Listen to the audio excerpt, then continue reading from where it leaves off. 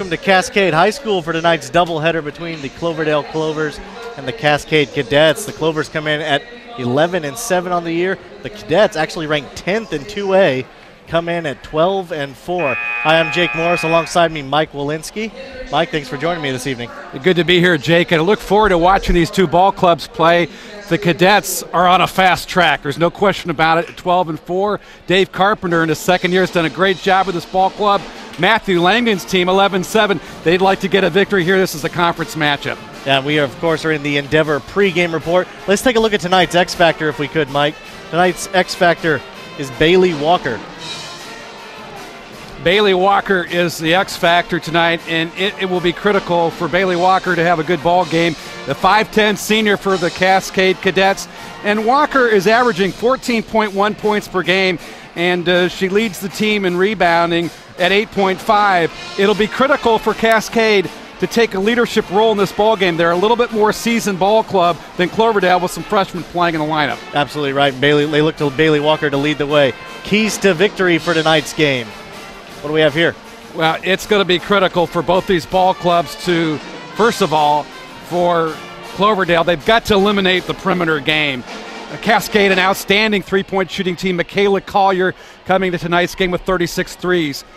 Cascade's got to get to the foul line. Cloverdale doesn't have as much depth, and they've got to protect the glass. Both teams, the teams that's going to rebound the best tonight, I think is going to have a chance to win the ball game. That's absolutely what's going to need to happen. I think we're about to start the national anthem, so we will quickly step aside. We'll be back with starting lineups and tip off right after this.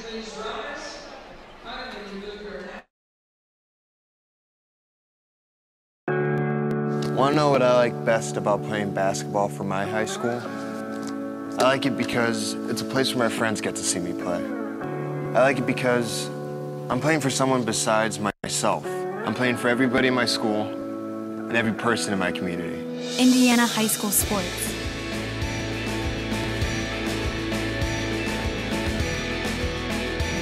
They're more than just a game. Come and see me play. It hits the rim right as the light goes in. And Hogan across the middle, finds the end zone, and oh. touchdown. Wow. And are looking to throw this time. Going deep down the field, he's got music. Look at this one again. Time will expire and the Gophers will win. Is on the board. The North wins 10 to 7. Experience the exciting world of television entertainment with Endeavor ETV. Get more than 350 quality TV channels, including HD, movies, sports, family programming, lifestyle, and local news and weather. Never miss a program with Endeavor Whole Home DVR. Stop a program in one room and continue watching TV in another. Enjoy video on demand and pay per view selections with over 2,000 titles. Call 1 800 922 6677 or visit our website at weendeavor.com for more details. Endeavor Communications continues to be the leader of technology in our communities. We provide crystal clear voice, super fast internet, exciting television entertainment, security for home and business, medical alert systems, IT services for home or business, and our new 4G LTE wireless telephone service with nationwide coverage. Call 1 800 922 6677 or go to our website at weendeavor.com for more details.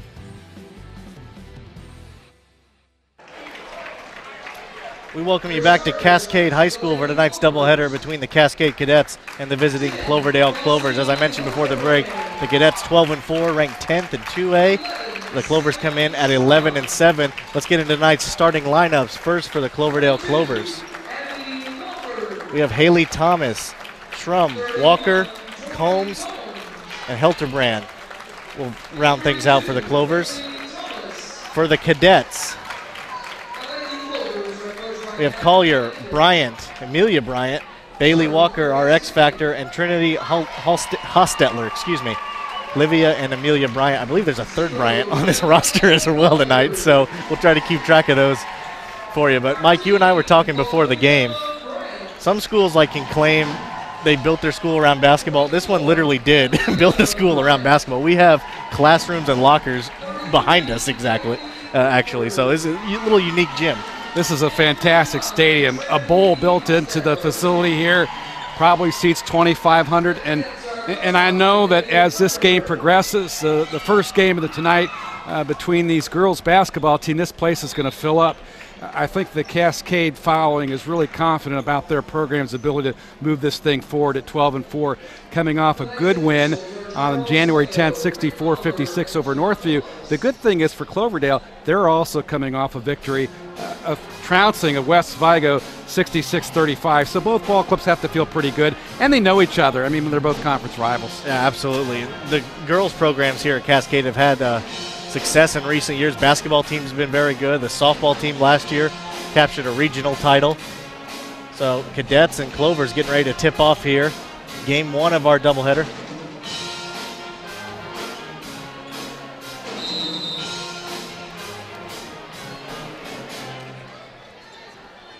The tip is won by the Clovers after they wrestle away the ball. Number 32, Haley Thomas with it now. Kicks it out in the corner to Hel- Helterbrand. Back to Thomas. Thomas for three. No good on that one. Rebound by Schrum. Back out to Helterbrand. You know, Sammy Schrum, just a freshman, do a good job of getting to the basketball. If they can get 50 50 balls tonight, they'll have a chance to compete, but they've got to hold on to the ball and take care of it. There's a turnover. And Thomas loses control of that one. Back in the hand of the cadets now. Collier struggling to get rid of it. Pass is deflected, goes out of bounds, will remain cadets ball. Good effort by Tori Combs in the post, number 31. She leads this ball club in blocks with an average of 2.4 per game. Combs stretches out. She's very tall at about 6'1. Ryan inbounds the ball, gets it to Collier. Collier for three. No good. Rebound Clovers. Yeah, Clover's doing a good job blocking out down on the post, and now they're going to look down to break down this this uh, zone. Now it's in a man-to-man uh, defense uh, for the Cascade Cadets. Shrum with the ball now, top of the key. She's going to drive. Crosses over, finds Helterbrand in the corner. They reset their offense. Thomas going to drive in, kicks it out. Dangerous pass, and Cadets try to come away with it, and they do. They're on the fast break now. And they get the bucket to fall. Nice use of body, nice use of glass on the little finger roll, and the bucket for Cascade. Good effort. Michaela Collier there with the layup. Collier averaging 14 and a half points a game, and there's an unforced turnover. Good solid pressure early on in this ball game by Cascade in the backcourt. Yeah, unforced turnover there by Tori Combs for the Clovers.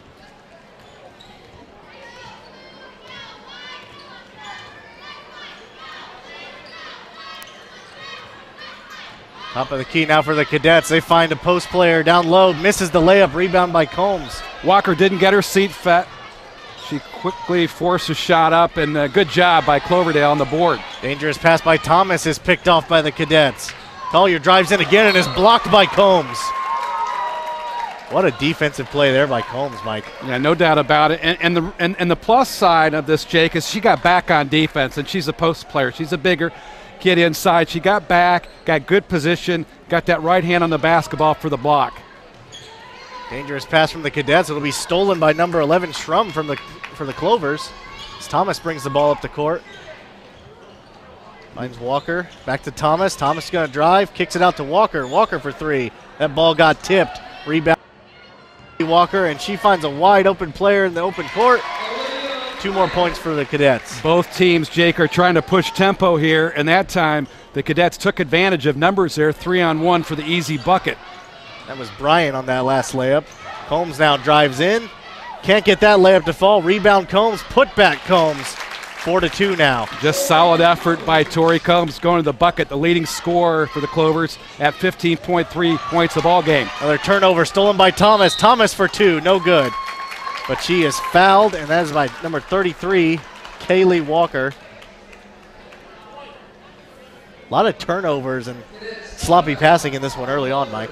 And, a lot of it is due to both teams providing intense ball pressure, which is a good sign for both ball coaches. And now we've got uh, Cloverdale at the foul line, and they've been uh, struggling from the foul line this year, shooting just about 57% as a team.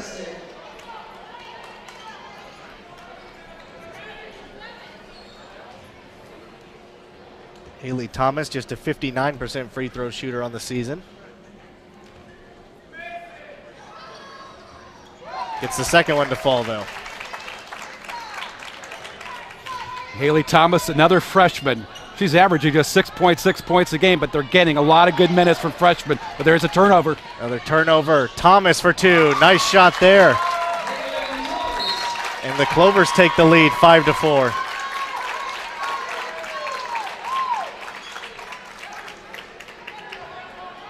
Clover's gonna start pressuring the ball a little. Now come out in a full court press. Cadets able to handle it. Back out top, nearly stolen by Combs. Driving in, blocked, and rebounded by Shrum. Shrum finds Combs on the block. Combs for another bucket. Good solid play by Combs, posting the right foot down on the block and kissing it off the glass. Jets trying to break the press, nearly turn it over again. Haley Walker struggling to hang on to the ball. Collier able to save it before it goes out of bounds. Cloverdale with a lot of looks defensively. Ran a 3 2 zone. Now there looks like a man to man here. We're going to get a foul off ball. Judging by the reaction, that may be on 31. Yeah, Combs. Combs. Yeah, Combs reached over the top as Amelia Bryant, number 24, was cutting at the elbow. She got over the top, got contact, gets a foul, and, uh, and now the cadets go to the bench for the first time, Jake, and, and, and they, need, they need some rest. Yeah, this has been a pretty fast paced game to start off.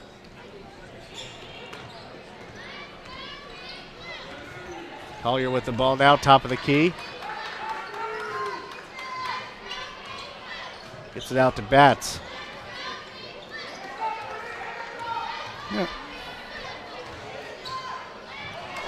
That's number 14. Rasnake for two. Good job of reading the defense and getting to the rack there. Cloverdale in the matchup 3 2 zone. Schrum for the basket, no good. And we're going to get a timeout from the cadets. This is just a 30 second timeout. We will stay right here with you. So far, the score seven to six in favor of the Clovers. And I think uh, for Cascade and Cadets, Dave Carpenter wants to get his team settled down and figure out this defense. They're coming out at 3 2 zone, but they're matching up, and it's creating some confusion, and they're pressuring the ball. When they pressure the ball, they've also turned it over as well. Yeah. Ball pressure has been extremely uh, an extreme factor in this game early on. Multiple turnovers for both teams, and you're seeing a lot of fast breaks uh, buckets in the process. But Tori Combs has impressed me so far. Yes. For, for a big player, being able to go from one side of the court to the other, very impressive. No question about it. She's also uh, uh, very strong offensively on the post. She's taken her time and gotten a few kisses off the glass and got some points and finished. And finishing is very important in this ball game. You got to put points on the board. Cadets working on the press right now. Big pass up, up the court. Going to draw the foul there. That's number 22, Abby Walker, on the foul. I'll tell you what, these Cascade Cadet uniforms, extremely difficult to see, but that is number zero, Collier, at the line. And, and Collier nearly put herself in jeopardy there. She took an extra dribble before she went to the bucket. It could have uh, put herself in a position to get a shot block. Fortunately, she moved her body forward and got contact before she put up the shot and gets two here. Able to knock both of those down and give the Cadets the lead. Trump gets it back to Thomas. Cadets starting the press now. Very similar teams. Combs wide open. Easy two, no good. Looked like it was tipped by Cascade. They're going to say Combs touched it last. It will remain with the Cadets. Yeah, good effort, though, by Cloverdale, pressuring the front court action and going to the basket and trying to score. If, if there's anything you're going to do to break down a defense that's pressuring you full court, is to attack the bucket and make them pay. And once you do that, then you can call off the dogs. Well, Combs for being the center power forward on this team is actually up in the press and not the safety valve in the back. Cadets with the ball now crossing half court. Collier with it, top of the key. Gonna split the defense. Nearly turns it over. Cadets for three. No good. Rebound, put back. I believe that is number 24, Amelia Bryant. Yeah, Amelia Bryant did a good job posting up, getting good space on the follow up, but a quick shot. I'm not sure if Coach Carpenter liked the shot, but they got the rebound, the bucket.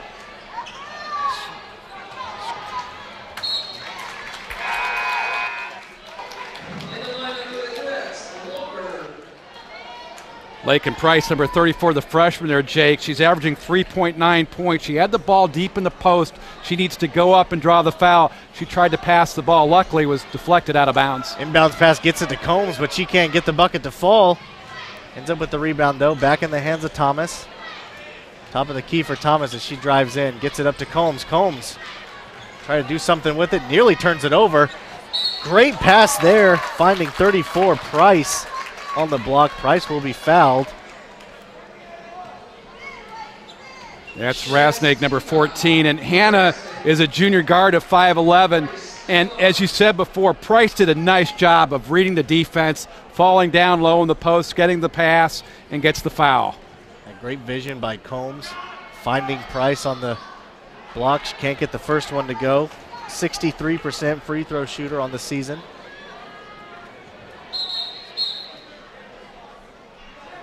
It's number 13, Olivia Bryant, will check in. Olivia Bryant, a junior, averaging 9.2 points a ball game, and and Jake, she's averaging 3.9 assists. So maybe she gets a chance to alleviate some of this backcourt pressure. It's the second one to fall. Two point lead now for Cascade. Combs is really pressuring here on this fast break. She's knocked multiple balls out of bounds.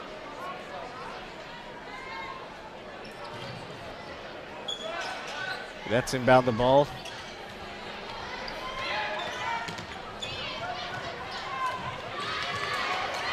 Big pressure here by Cloverdale, and they're going to get the 10 second call.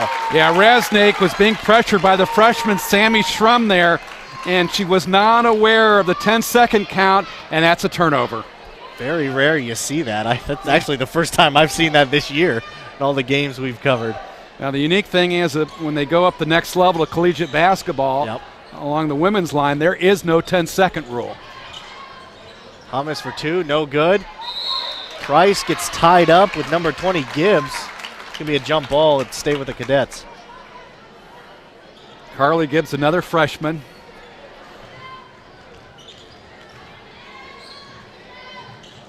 Cascade getting a good look oh, at the zone here. fast break there. That's number 12 Gross with the easy layup there. Executed to perfection on the fast break. She got the bucket, but I could tell you, Jake, she traveled. And uh, she got away with extra step there. They gave it to her, no doubt in my mind.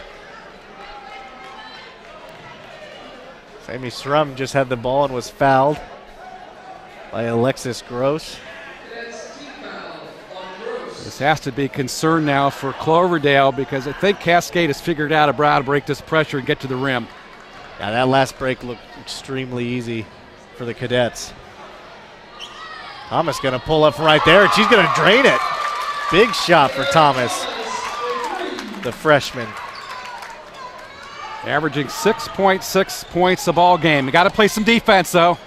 Bryant drives in, can't get that one to go. Back in the hands of the Clovers now. You know, Sammy Schrum did a good job getting her hands vertically. Thomas blocking out. again for three. Can't get that one to go. It's rebounded by Combs, though. Kicks it out. The freshman Strum.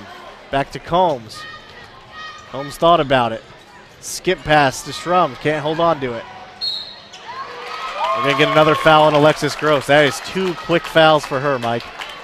And I give her credit for being aggressive there. Reached in maybe a little bit too closely. The referee calling a holding foul. She draws a foul. She'll check out of the game, but she got some nice minutes for the cadets here in the first half. In- inbounds the ball to Thomas. Gets it up to number three, McCracken. Down to Price. Price for two, no good, partially blocked. Cadets end up with it in the hands of Bryant. Layup won't fall, rebound by Collier. She loses control of it. Back to the Clovers. Again, they had the numbers. The cadets had the numbers. They just couldn't finish. Thomas is going to be key in this ball game over 32 if she can knock down that perimeter shot. Kraken with the ball now on the wing. Going to drive in, take the jumper, blocked.